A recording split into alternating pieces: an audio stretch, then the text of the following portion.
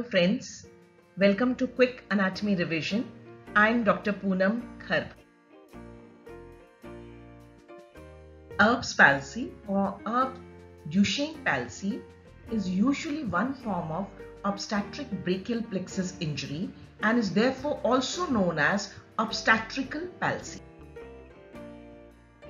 The site of lesion in Erb's paralysis is known as Erb's point. It is located on the upper trunk of brachial plexus. In this picture, we can see here, this is the brachial plexus. This is the supraclavicular part of the brachial plexus showing the roots from C5, C6, C7, C8 and T1 and the three trunks of the brachial plexus that is upper trunk, middle trunk and the lower trunk. Upper trunk which is shown here with yellow color this is the site of the lesion and is formed by joining of ventral rami of C5 and C6 spinal nerves. Let us look at the Erb's point in detail.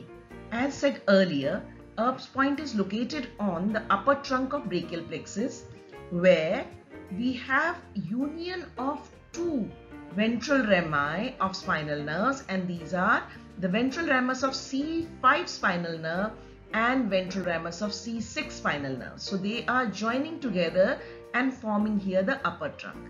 Then we find here that the upper trunk itself divides into two divisions. One is posterior division and another is anterior division. Two nerves can be seen arising from the upper trunk at the Erb's point and these are nerve to subscapularis and suprascapular nerve. So what is the cause of Erb's palsy? The cause is undue separation of neck from the shoulder. So when neck is separated from the shoulder, then what happens? The upper trunk, which is lying on the upper side of the neck, that gets unduly stretched or comes under pressure.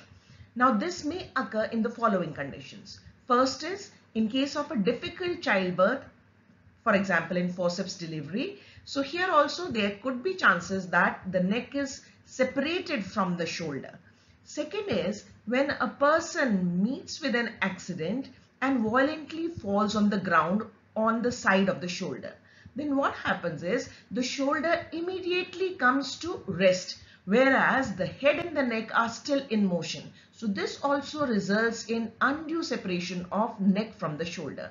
Third could be a direct injury when the anesthesia could be given for blockage of the brachial plexus. Let us now see what will be the position of the upper limb in Erb's paralysis. As can be seen in the picture, the upper limb appears as if a policeman or a waiter or a porter is taking tip. So let us look at the arm position. The arm will remain adducted and medially rotated. That means the movement of abduction and lateral rotation are lost.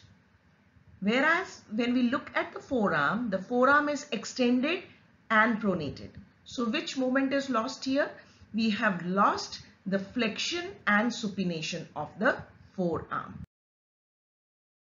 So which muscles are paralyzed in Erb's paralysis? It is very obvious that upper trunk is formed by ventral rami of C5 and C6 spinal nerves. So the muscles that are innervated by C5 and C6 spinal nerves here via brachial plexus, they will be paralyzed. There are four nerves which will be carrying nerve fibers from C5 and C6 spinal nerves. So let us look at the muscles that will be paralyzed. First is deltoid and teres minor which are supplied by axillary nerve, supraspinatus and infraspinatus supplied by suprascapular nerve, biceps brachii and brachialis supplied by musculocutaneous nerve, brachioradialis and supinator supplied by radial nerve. What will be the effect of paralysis of these muscles? Supraspinatus and deltoid they are responsible for abduction of arm. So their paralysis will result in loss of abduction of arm. Infraspinatus and teres minor, they are involved in lateral rotation of the arm. So their paralysis will result in loss of lateral rotation of arm. As a result, the arm will be adducted and medially rotated. Now biceps brachii, brachialis and brachioradialis, they are involved in flexion of forearm. So their paralysis will result in loss of flexion of forearm. Biceps brachii and supinator, they are responsible for supination of forearm. So as a result of paralysis of these muscles, there will be loss of supination of forearm. So therefore, the forearm will remain extended and pronated. Thanks for listening.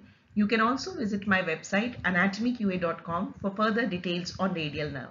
I'll put the link of my website in the description.